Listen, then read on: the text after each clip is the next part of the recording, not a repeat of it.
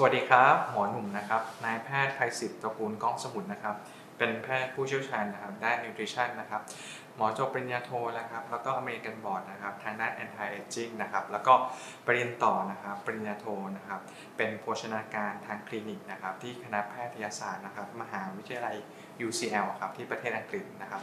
วันนี้นะครับหมอก็จะมาพูดนะครับเกี่ยวกับสมุนไพรตัวหนึ่งนะครับ สมุนไพรตัวนี้นะครับจัดเป็นเขาเรียกว่าเป็น king of herbs ก็คือเป็นราชาของสมุนไพรด้วยก็จะเรียกว่าเห็ดหลินจือ เห็ดหลินจือนะครับ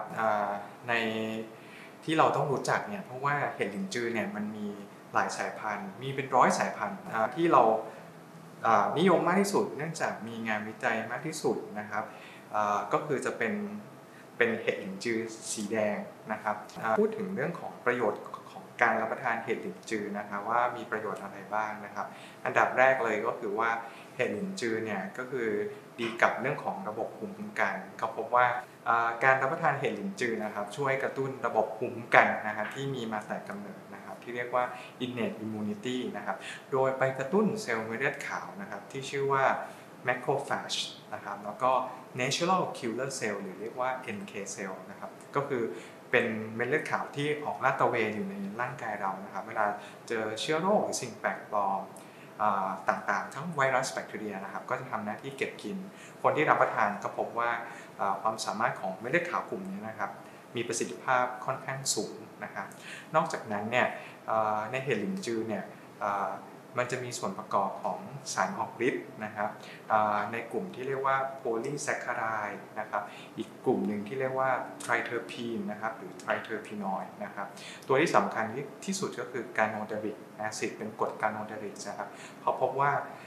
สารสำคัญที่อยู่ในเห็ดหลินจือเนี่ยนอกจากช่วยกระตุ้นระบบภูมิคุ้มกันเนี่ยที่หมอพูดไปแล้วเนี่ยก็ช่วยเรื่องของอลดอาการภูมิแพ้ด้วย เพราะว่าไปช่วย ลดสารก่อภูมิแพ้ในร่างกายเราที่เรียกว่าฮิสตามีนนะครับก็จะเป็นตัวที่ช่วยลดระดับฮิสตามีนในร่างกาย เพราะฉะนั้นคนที่เป็นภูมิแพ้ทางเห็ดหลินจือนะครับ อาการภูมิแพ้ก็จะลดลงนะครับออนอกจากนั้นนะครับงานวิจัยทางคลินิกนะครับ ก็มีพูดถึงเกี่ยวกับเรื่องของโรคตับด้วยนะครับเขาพบว่า ตับที่ได้รับเอทานอลนะครับหรือแอลกอฮอล์ค่อนข้างเยอะนะครับ แล้วก็รับประทานเห็ดหลินจือ เห็ดหลินจือเนี่ยจะช่วยปกป้องตับนะครับจากสารพิษนะครับ โดยเฉพาะกลุ่มของแอลกอฮอล์นะครับเห็ดหลินจือในท้องตลาดนะฮะณปัจจุบันเนี่ยมีเยอะมากเราต้องมั่นใจว่าเป็นสายพันธุ์เห็ดหลินจือแดงนะครับดูต่อไปก็คือว่าดูเรื่องของผู้ผลิตนะครับผ่านมาตรฐาน GMP นะครับแล้วก็มี เลขออยกำกับนะครับแล้วก็สิ่งสำคัญที่สุดเลยก็พบว่าที่มีอิชชูในปัจจุบันก็คือว่าพบว่าเห็ดหลินจือเนี่ยมีการเจือปนของพวกสารตะกั่วนะฮะเพราะฉะนั้นสิ่งที่เราต้องดูต่อไปก็คือว่าอาหารเสริมกลุ่มนี้ก็ต้อง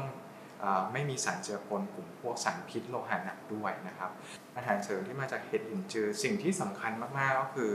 อตัวเห็ดนะครับบางที่เขาเอามาจากสปอร์ นะครับบางที่ก็เอามาจากตัวที่เรียกว่า fruiting body fruiting body ก็คือเป็นส่วนที่มันเป็นร่มของมันนะครับ จริงๆ ส่วนที่ดีที่สุดที่มีงานวิจัยทางคลินิกเนี่ยว่ามีสารออกฤทธิ์ทางชีวภาพค่อนข้างดีสูงเลย ก็ต้องเป็นส่วนที่เรียกว่าสปอร์นะครับ เพราะฉะนั้นการรับประทานเห็ดหลินจือเนี่ยก็ต้องเลือกเป็นที่มาจากสปอร์นะครับดูลึกลงไปอีกนะครับผลิตภัณฑ์บางผลิตภัณฑ์เนี่ยใช้สปอร์จริง แต่ว่าไม่ได้กะเทาะ เปลือกของสปอร์ออกนะครับเขาพบว่าการรับประทานของสปอร์ของเห็ดหลินจือที่ไม่ได้กะเทาะเปลือกออกนะครับเราทานเข้าไปเนี่ยผ่านกรดในกระเพาะอาหารนะครับ ผ่านเบสที่อยู่ในลำไส้นะครับ